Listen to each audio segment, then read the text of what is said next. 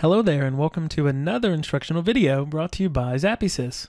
In this video, we're going to cover how to load data from some source into a Salesforce database using custom ZappySys components. As always, these are custom components you'll be able to use once you download and install the SSIS Power Pack. And you can get that by going to zappysys.com, hovering over Products, SSIS Power Pack, and download the free trial. And I'll be sure to post a link for this in the description below. So let's get started. In Visual Studio, you could create a new project using the integration services template. I'm just going to add to an existing project that I have. So I'm going to right click, create a new package, and immediately, as always, you'll see all of the ZS custom components in the toolbox on the left. And if you go to the data flow pane, you'll see even more custom components there. So in this video, we're going to eventually put data into a Salesforce database. So we need some connection to it. So let's right click in the connection manager at the bottom and make a new connection. So here are all the standard ways you can connect. I'm going to scroll down to the bottom and I'm going to use the custom Salesforce connector. And I'm going to say add. I'm going to put my user I'm going to put my password and I'm going to put my token. Salesforce requires a token for a user. It's kind of like an API key. You should be able to get that in your Salesforce account, or if you reset your Salesforce password, it should email you your new token. I'll also post another link in the description below with a little more info on what it is and how to get it. So I'm going to test my connection. It works. Okay, great. So first I'm going to drag a data flow task. And then in the data flow task, we're going to say what we want. Actually, let's name it first. And I'm going to call this one insert, Salesforce insert. So in the data flow task, let's go get our source. So this could be a SQL Server database. This could be a Postgres database. It could be anything. I'm going to use a flat file that I've created on my desktop. So I have three of them, new, update, and upsert we're going to use each of them. The first one is this new option. He just has four rows of basic information, has a name, a city, and a primary key. So back in Visual Studio, we're going to use this custom ZappySys CSV source. So let's drag that to the data flow and let's open it up. So the first thing you'll notice is a whole lot of configuration and options. And don't forget, that's because this is also used with web APIs or files. We're using the very basic version of just a flat file. So we're going to go pick our CSV. We're going to say, okay, the component scans our data and looks at the sizes of things and kind of makes an assessment to say, hey, I'm going to make some room in case there's bigger fields or attributes later. How does that work? Is four times enough? I'm going to say yes. So now we can go and grab our custom Salesforce destination. So let's connect our CSV to our destination and let's go configure it.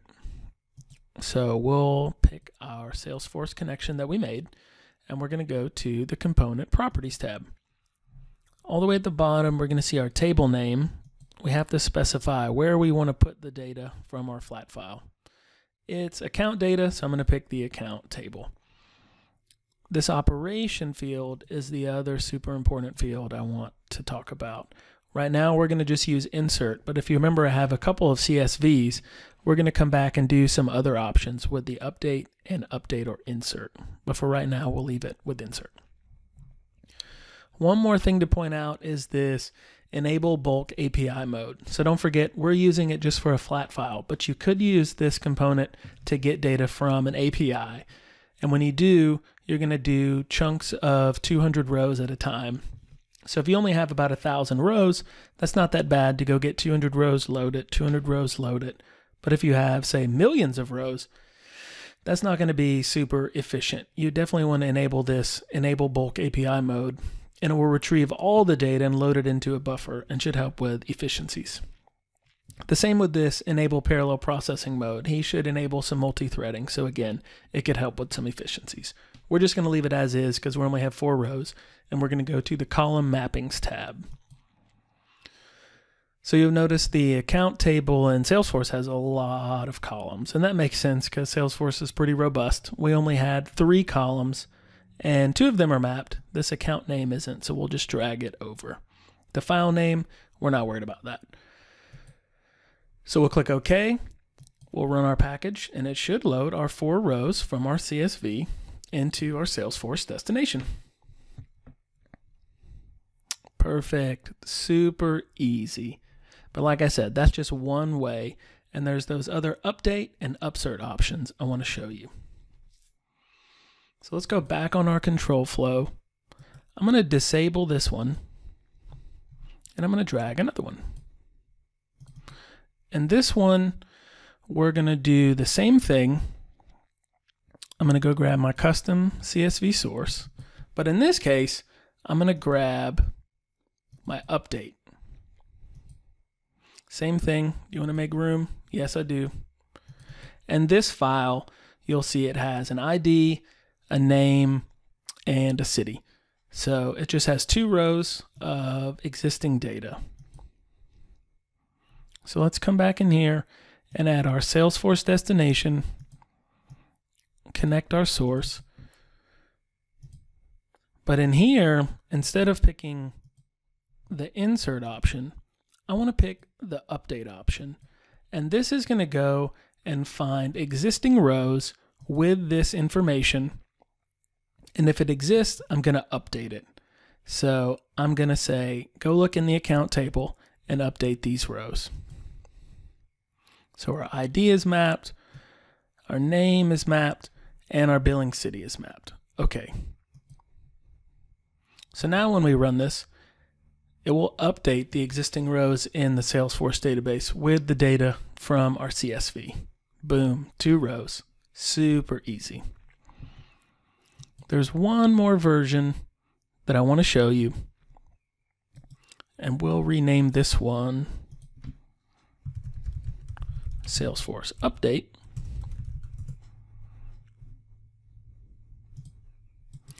We'll disable him and we'll add one more. And this one we're going to call upsert.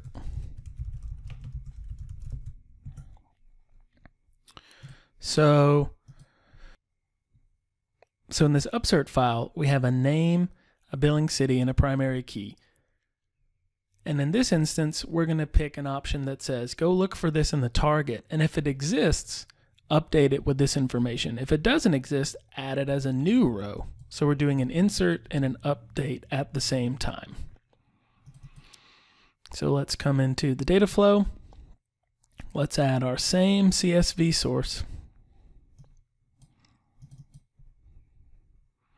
Let's go pick our upsert CSV.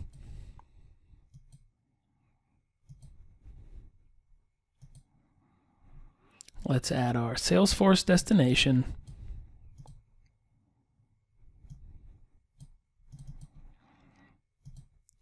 And this time, when we pick the upsert option, there's going to be one more requirement.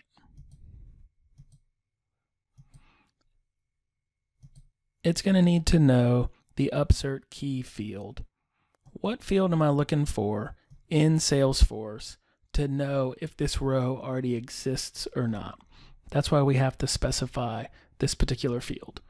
Um, if you don't know how to make this field or what it is, I'll add another link in the video description below with a little more information on that. So now one more time on the mappings, we're going to say our name, billing, primary key. In this instance, we're going to say run. And he should have three rows either inserted or updated you know what? I want to show one more feature that you might want to add these trash destinations. So in this instance, one of those rows was inserted, but now they all exist. So now if I can keep running this same package over and over again, and it will just update those three rows. I'm going to add this trash destination to show me what three rows were updated. Now in this destination, you could say save data to a text file, And you might want to use this if you're trying to create some audit log of the data that you're updating or inserting into your database. So now, this time when I run this package, it will show me three rows updated. And here it shows me three rows updated. So again, I just wanted to briefly mention that because it could be helpful if you want to use it for some audit logs. And that's really it. Hopefully you saw how flexible and easy it is to use custom ZappySys components and you're able to get data from something like a flat file and either insert it, delete it, or update it in a Salesforce destination. And don't forget, like I said, the CSV is just one way you can get data. You could also get it from another database or some other source. If you haven't already downloaded the Power Pack, go ahead and do that now. Don't forget the link is in the description below. And don't forget to subscribe to the ZappySys YouTube channel to get more updates and SSIS tips and tricks in the future.